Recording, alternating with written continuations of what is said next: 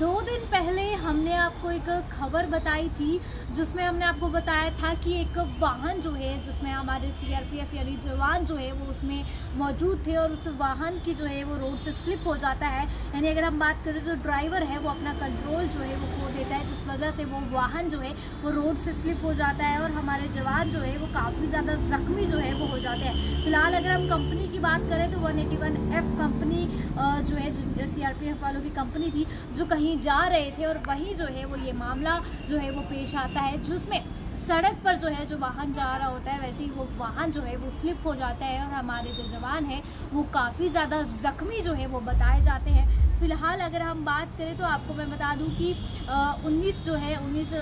CRPF जो थे, जो काफ़ी ज़्यादा ज़ख्मी थे और उन्हें जो है फिर जल्द से जल्द जो है वो हॉस्पिटल लिया गया। फ़िलहाल अगर हम बात करें, उनमें से दो जो है काफ़ी ज़्यादा और ज़ख्मी जो है वो बताए जा रहे थे। पहले अगर मैं आपको बता दूँ, शरार शरीफ हॉस्पिटल में जो है वो उन्हें पहले लिया गया था और फिर वहाँ से रेफ़र जो है, नौजवानों को जो है, वो S M H S hospital में जो है, श्रीनगर में रेफ़र कर दिया गया। वहीं एक दुख भरी खबर जो है वो निकल कर सामने आ रही है, जिसमें मैं आपको बता दूँ कि एक जवान जो है, वो काफ़ी ज़्यादा ज़ख्मी था और उसके बाद उनकी मृत्यु यानी अब वो शहीद जो है, वो हो गए हैं। फ़िलहाल अगर हम बात करें तो आप जानते हैं, आए दिन सड़क हादसे काफ़ी ज़्यादा बढ़ रहे हैं।